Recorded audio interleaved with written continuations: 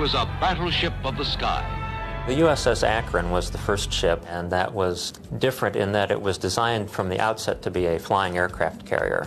Inside the belly of the airship, there was a hangar bay, and it could carry up to five biplanes. They had several planes, but the most famous was the Sparrowhawk. A little bit of a 20 foot wingspan uh, fighter. It would come up, had a hook on the top, and it would hook onto a trapeze bar. From a trapeze, it lowered from the ship.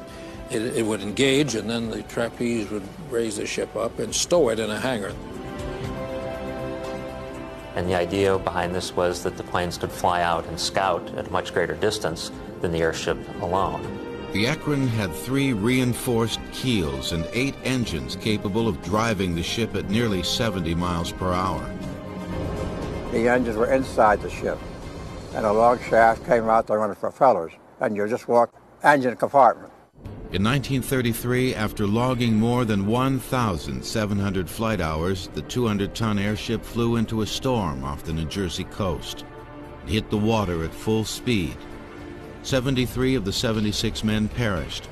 There were no life jackets on board. Barely two weeks after the crash of the Akron, her sister ship was completed. The USS Macon was identical except that she was 8,000 pounds lighter and faster a fact the new commanding officer found difficult to deal with. As one senior airship officer remarked to me, he was so careful it was downright embarrassing. Built to cruise 10,000 miles without refueling, she's the pride of the Navy. Using its fighter planes as lookouts, the Macon could patrol almost 129,000 square miles of ocean in a day. In February of 1935, the Macon was lost in severe weather off the coast of California near Point Sur. This time, they had life jackets on board, and all but two of the 83 men on board survived.